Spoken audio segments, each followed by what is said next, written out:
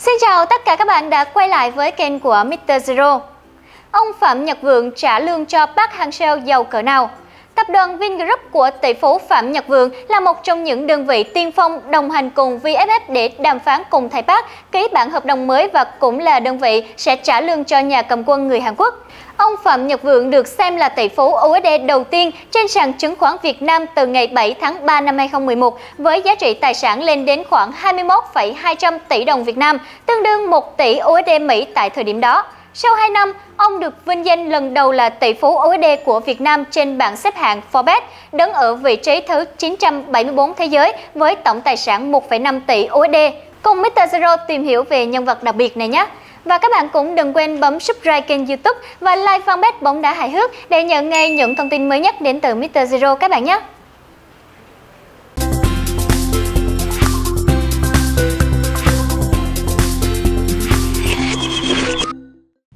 Vừa qua, tập đoàn của ông Phạm Nhật Vượng đã làm nức lòng người hâm mộ bóng đá Việt Nam khi trả lương cho ông Park Hang-seo, huấn luyện viên được đánh giá là đã thay đổi lịch sử bóng đá Việt Nam.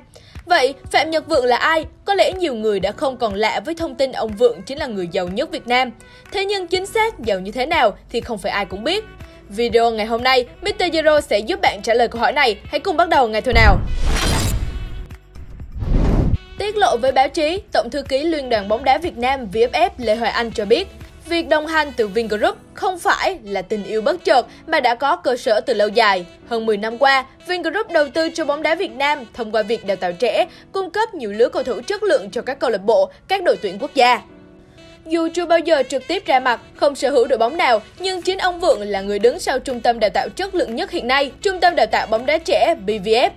Với tầm nhìn không chỉ dừng lại ở SEA Games hay châu Á mà là giấc mơ World Cup, Trước khi hỗ trợ tài chính để trả lương cho huấn luyện viên Park Hang-seo, Vingroup của ông Vượng cũng đã từng hỗ trợ đài truyền hình quốc gia mua bản quyền các giải đấu lớn để phục vụ người hâm mộ cả nước mà không đòi hỏi bất kỳ điều kiện nào kèm theo, như bản quyền World Cup năm 2018 hay bản quyền ASEAN năm 2018. Với tài sản hàng tỷ USD của mình, ông Vượng dư sức sở hữu riêng cho mình một câu lạc bộ để thi đấu tại V-League, nhưng ông không làm như vậy mà chọn cách đào tạo bóng đá trẻ để tìm kiếm và nuôi dưỡng các tài năng. Thậm chí, Vingroup còn mời các huyền thoại bóng đá như Bonsko, Ryan Giggs về huấn luyện cho các cầu thủ trẻ, bắt tay với nhiều người làm bóng đá chuyên nghiệp tại giải ngoại hạng Anh. Sở hữu cơ sở vật chất hiện đại, Trung tâm Đào tạo bóng đá trẻ BVF đã có nhiều đóng góp trực tiếp và gián tiếp cho sự phát triển của bóng đá Việt Nam, trong đó cụ thể nhất là hỗ trợ sân tập, cơ sở vật chất, tiếp đón các đội tuyển trẻ đến tập huấn tại BVF chữa trị chấn thương cho các cầu thủ, các đội tuyển quốc gia và đóng góp nhân sự chuyên môn, y tế, thể lực cho các đội tuyển quốc gia từ U15 đến U23 Việt Nam và đội tuyển quốc gia Việt Nam. Sự tham gia của Vingroup thu hút nhiều doanh nghiệp khác cùng đồng hành, hỗ trợ phát triển bóng đá Việt Nam. Sự cộng hưởng từ việc xã hội hóa bóng đá sẽ giúp VFF đưa ra các kế hoạch dài hơi, chinh phục những mục tiêu cao hơn bằng đội ngũ xuất sắc nhất, ông Hòa Anh nói. Khi được hỏi về mức lương trả cho ông Bắc Hang-seo, Tổng thư ký VFF cho hay, về mặt nguyên tắc, chúng tôi không thể tiết lộ về mức lương, nhưng xin khẳng định VFF nhận được sự hỗ trợ để đưa ra được mức lương xứng đáng với những đóng góp của huấn luyện viên Park Hang-seo cho bóng đá Việt Nam. Vì là điều khoản bảo mật, cho nên đến thời điểm hiện tại, các bên đều từ chối tiết lộ về mức lương mà vị huấn luyện viên người Hàn Quốc nhận được. Tuy nhiên, có nhiều thông tin bàn tán xung quanh mức lương của ông Park Hang-seo. Vài giờ sau khi VFF chính thức ký hợp đồng mới có thời hạn là 3 năm với huấn luyện viên Park Hang-seo vào sáng ngày 7 tháng 11, Nhật báo chuyên về trang thể thao hàng đầu Thái Lan CM Sport đưa tin về mức lương mới của huấn luyện viên Park Hang-seo ở mức 1,2 triệu USD trên một năm. CM Sport viết, Lương của huấn luyện viên Park Hang-seo được cho là rơi vào khoảng 1,2 triệu USD trên một năm, tầm hơn 36 triệu baht, tương đương với gần 28 tỷ đồng. Tổng giá trị hợp đồng 3 năm của ông Park rơi vào khoảng 108 triệu baht, hơn 83 tỷ đồng. CM Sport không nói rõ mức lương trên là trước thuế hay sau thuế, nhiều khả năng đây là mức lương chưa chịu thuế. Và sau khi phải đóng thuế, số tiền thực lãnh của huấn luyện viên Park Hang-seo sẽ thấp hơn vài chục phần trăm so với mức 1,2 triệu USD trên một năm ở trên. Số thuế thu nhập cá nhân mà thầy Bắc phải nộp cũng là một nội dung được rất nhiều người quan tâm. Để tính thuế thu nhập cá nhân cho người nước ngoài có thu nhập chịu thuế thu nhập cá nhân ở Việt Nam thì đầu tiên phải xác định là cá nhân cư trú hay không cư trú. Nếu là cá nhân cư trú thì xác định thêm thời hạn làm việc tại Việt Nam. Trong đó, theo điểm B khoảng 1 điều 25, thông tư 111 năm 2013, người nước ngoài đến làm việc tại Việt Nam, cách tính thuế thu nhập cá nhân phụ thuộc vào thời gian làm việc Cụ thể, người nước ngoài có thời gian làm việc tại Việt Nam từ 183 ngày trong năm. Tính thuế thì tính thuế thu nhập cá nhân được tính theo biểu lũy tiến từng phần, từ 5 đến 35%, tính theo mức thu nhập tăng dần. Giả sử với mức lương được bàn tán là 100.000 USD mỗi tháng, tương đương là 2,3 tỷ đồng. Dựa theo biểu thuế lũy tiến hiện tại, mức thuế thu nhập cá nhân ước đoán có thể lên tới 780 triệu đồng mỗi tháng. Để có thể trả mức lương xương xương như vậy cho thầy Bắc, cũng đủ hiểu tỷ phú Phạm Nhật Vượng giàu có cỡ nào. Theo cập nhật mới nhất từ Forbes, ông Phạm Nhật Vượng, chủ tịch tập đoàn Vingroup đang là người giàu nhất Việt Nam với khối tài sản ròng là 8,25 tỷ USD.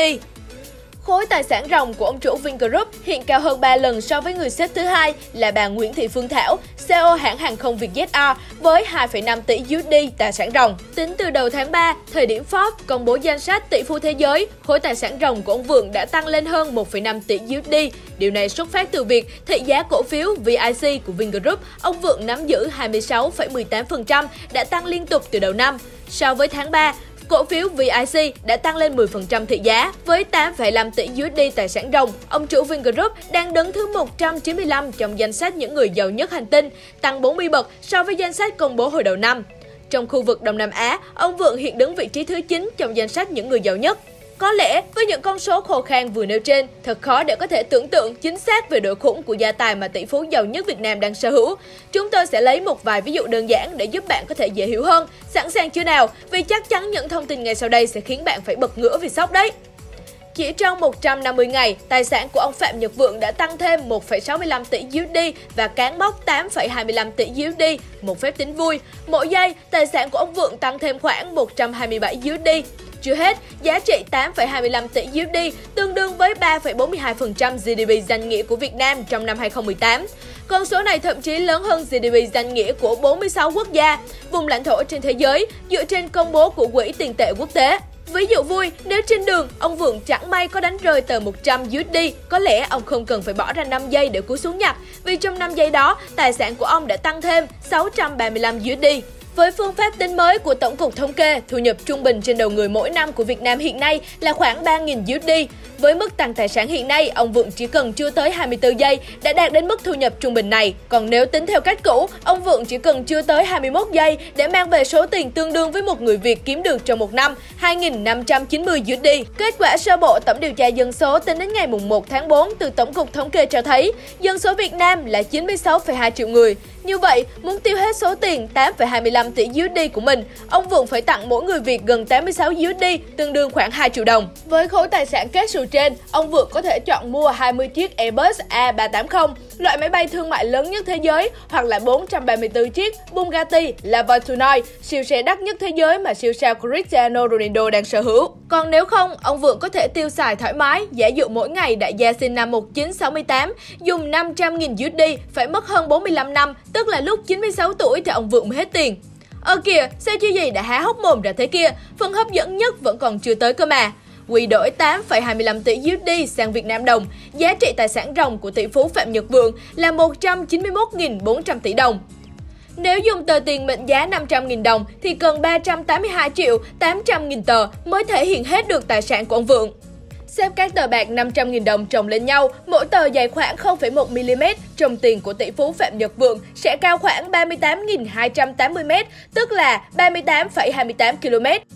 Trong tiền của ông chủ Vingroup cao gấp 12,1 lần đỉnh Fancy cao 3.143m và cao gấp 4,3 lần đỉnh Everest, cao 8.848m.